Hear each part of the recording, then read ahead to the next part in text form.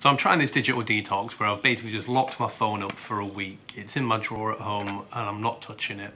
By doing the digital detox, I wanted to see if I could be more productive in everyday life rather than just scrolling through and wasting my time looking at news feeds on all these different platforms. Me and a friend had decided to go bowling one night.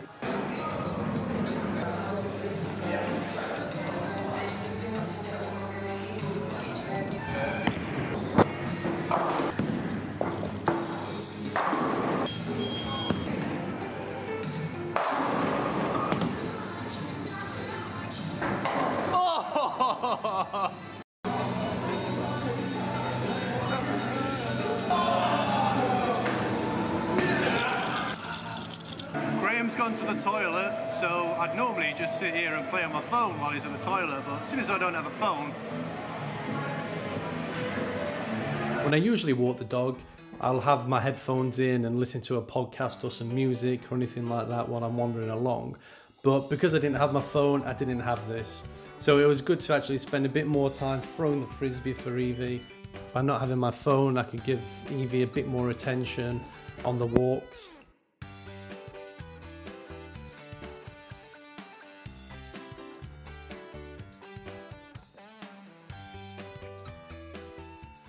I've been sticking to my normal routine and I've just noticed that I've not been distracted as much by my phone.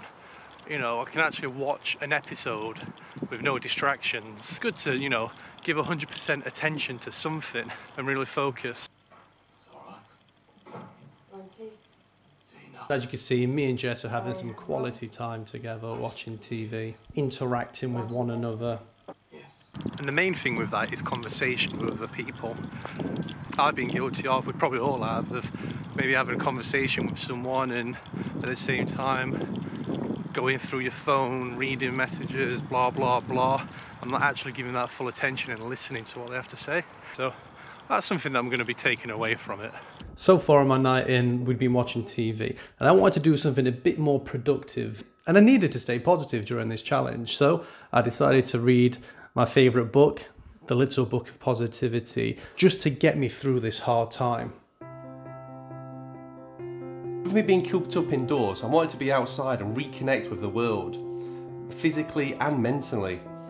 I wanted to find balance between my mind, body, and soul. So I went out with the dog, went for a little run, went on the outdoor gym, really focused on myself, trying my best to keep me physically fit and mentally fit without the distractions of a phone. I've never meditated. Thought now was a better time than any. My goal was to go beyond the mind and experience our essential nature in search of peace, happiness, and bliss. Finding that balance between the mind, body, and soul. During my 30 seconds of meditation, God spoke to me. They said, Be one with nature and connect on a deeper level. Then climb a tree and be closer to me, and I shall give you the answers you're seeking.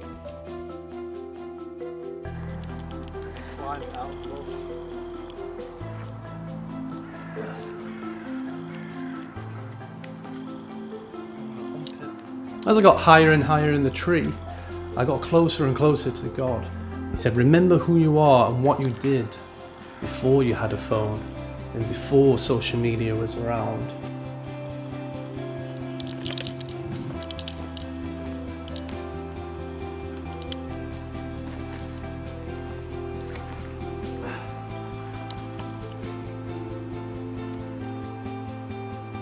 As I climbed higher and higher in the tree, God spoke to me again and said, Graham, go to the city school, specifically the school field, and play in the park, and you'll seek your answers. Just wanted to come up onto the old city school field. I couldn't get this way because all that's overgrown. So that's my mum's house behind that bush and that tree there, which it wasn't like at all five years ago, ten years ago, God knows how long.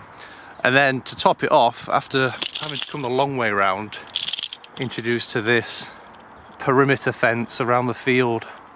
Absolutely mad. When did that come up? Can anyone tell me? No idea. This is my little route to school. through the garden, across the field, up to the old city school. But access denied.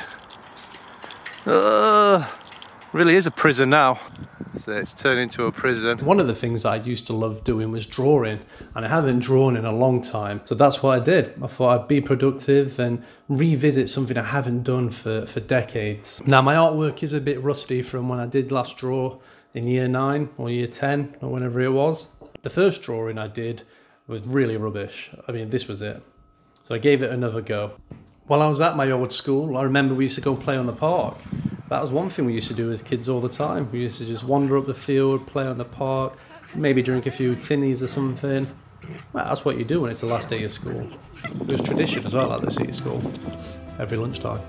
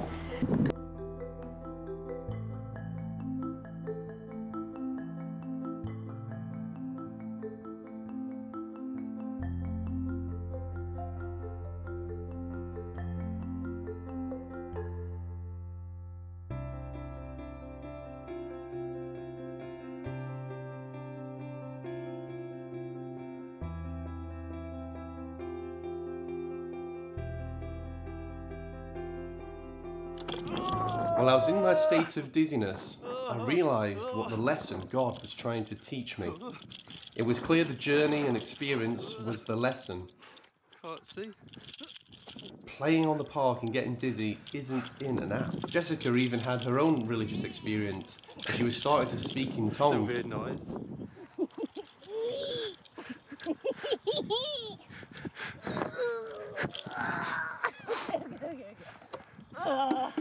Keep going.